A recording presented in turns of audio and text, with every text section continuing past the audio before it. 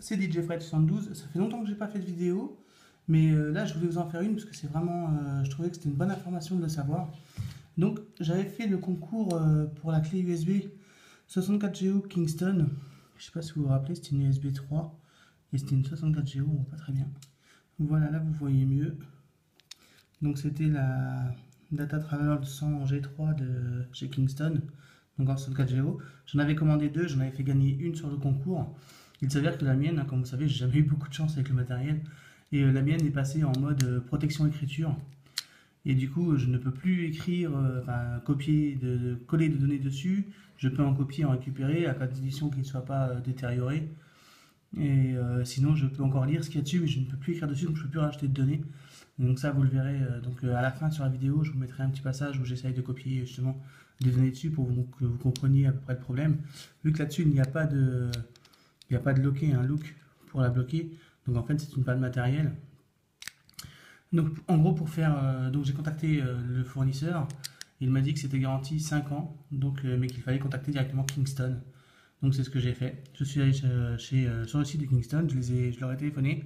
Ils m'ont demandé juste une photo de la clé, comme quoi je l'avais bien en ma possession, que c'était bien ma clé, avec la date d'achat que je leur ai fournie mais euh, ils ne m'ont pas demandé de facture, ils m'ont demandé juste la photo et les numéros qu'il y a ici dans la deuxième ligne. Je ne sais pas si vous allez voir, ça va pas être euh, évident.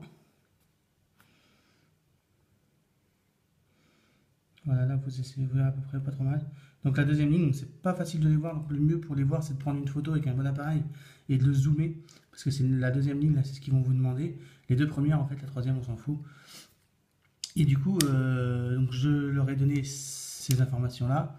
Et voilà, la voici. Donc ils m'ont pas demandé la vieille clé, hein. ils ils m'ont juste renvoyé une nouvelle euh, grâce à la photo que j'ai envoyée. Par contre c'est la même. Et elle est aussi garantie 5 ans. Donc euh, je trouve que c'est très très professionnel de leur part.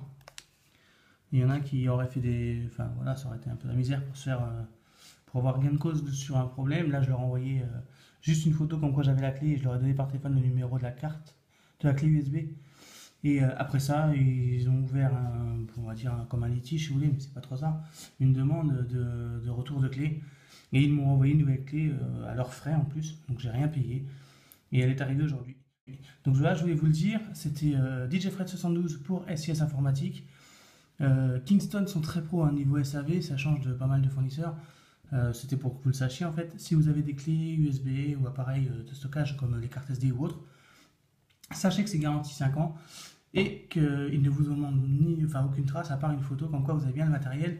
Et puis voilà, c'est à vous d'expliquer votre problème. Généralement, ils sont très pros. Merci à tous d'avoir suivi. N'oubliez pas de liker, de partager et de vous abonner à la chaîne. C'était Jeffrey 112. À bientôt